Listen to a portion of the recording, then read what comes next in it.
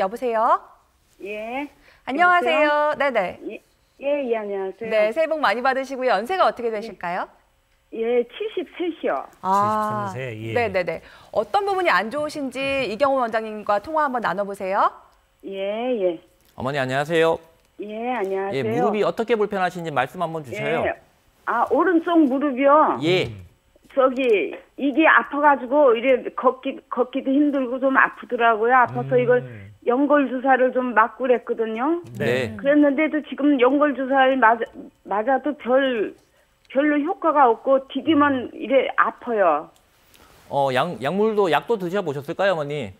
아, 약은 좀 먹다가 제가 간 이식 수술 환자인데요. 아. 그 약을 먹었더니 부작용이 일어나 가지고 아. 그걸 못 먹겠더라고요. 음. 그래서 그 약을 안 먹고 이제 저기 주사를 이제 이거 연골 주사를 맞으라고 그래서 연골 주사를 몇 번 맞았는데도 이게 별 효과가 없네요. 음. 어, 그, 뭐, 간이식을 하셨다고 하시면은 이제 저희가 이제 네. 의사들이 일반적으로 진료볼 때 약을 이제 주시, 드리기가 굉장히 조심스럽습니다. 그 이유는 모든 이제 소염 진통제, 진통제들은 간 독성과 이제 콩팥 독성이 이제 있기 때문에 음. 간 수치가 나쁘다거나 간 이식을 하셨다는 분들은 이제 저희가 일반적으로 약을 드릴 때는 굉장히 조심스럽고요. 주사를 그래서 시행을 받으신 것 같고 혹시 휜다리 변형이 굉장히 심하실까요?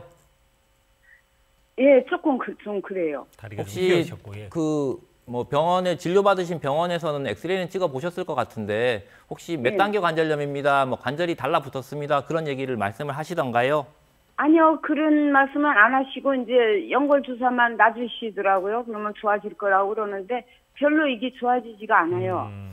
만약에 이제 뭐 다리의 정렬이 괜찮고 관절염 단계가 이제 심하지 않은 초기 또는 뭐 중기 관절염인 경우에는 뭐약 말고 이제 어머니께서 하시는 주사 치료 아까 전에 제가 이제 처음에 말씀드렸던 것처럼 주사 치료는 한 가지 연골 주사만 있는 게 아니고요 여러 가지 이제 주사가 있으니까 이제 예. 거기에 어머니 상태에 맞는 그런 치료들을 해보실 수가 있을 것 같고 만약에 예. 중기 내지는 이제 말기 관절염 여러 가지 이제 약을 쓰기가 제한이 되고 그 다음에 예. 이제 뭐 주사를 여러 군데도 맞아보고 해- 여러 번도 맞아 맞아보고 했는데 증상이 이제 심하시다라고 하시면 그때는 그때 고려하실 수 있는 게 이제 인공관절과 같은 이제 수술적 치료 또는 이제 만약에 심하지 않다면 관절 내시경으로 염증을 유발하는 조직들을 제거하는 그런 수술 같은 방법을 생각해 보실 수가 있습니다. 네.